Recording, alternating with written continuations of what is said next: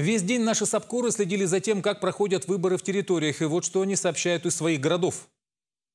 Канске и Канском районе 85 избирательных участков, 34 из них находятся в городе. Сегодня в 8 утра все они открыли свои двери. И вот пока все проходит в штатном режиме. По оценке очень многих политологов, предвыборная гонка в Канске проходила достаточно напряженно, но, по всей видимости, это никак не отразилось на желании людей прийти и проголосовать, потому что мы наблюдаем, что люди приходят э, в хорошем расположении духа, и многие говорят, что даже мысли не было в этом году не пойти на выборы. Все будущее наше зависит в России от нашего голосования.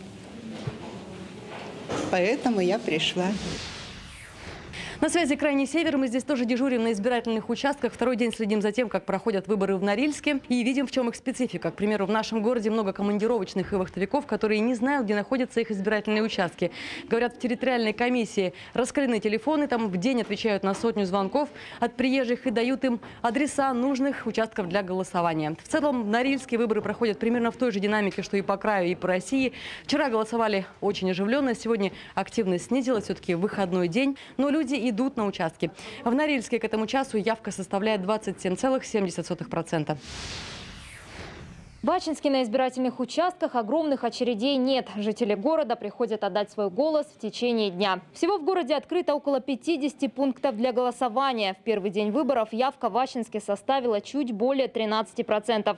Сегодня же председатели избирательных участков отмечают также активный наплыв людей. Во время голосования соблюдаются все необходимые правила безопасности. Нарушений не выявлено. И несмотря на пасмурную погоду, люди все равно идут с хорошим настроением на выборы. Как вот приучились с детства, ну, с 18 лет всегда. Считаю, это своя ответственность, как бы должно быть так. Почему сегодня пришел? Вчера как бы некогда было, а завтра на работе. Поэтому сегодня в Енисейске и Енисейском районе к этому моменту уже успели проголосовать более 20% избирателей. Конечно, активнее всего на свои участки люди шли в первый день голосования.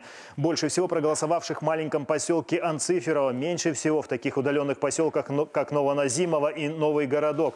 Вот за это время мы успели побывать на разных избирательных участках и везде. И сами избиратели, люди и общественные наблюдатели отмечают, что эта выборная кампания проходит без всяких эксцессов и нарушений. Мы находимся здесь второй день, следим за э, выборами, никаких нарушений за это время выявлено не было, поэтому все проходит достаточно мирно и спокойно.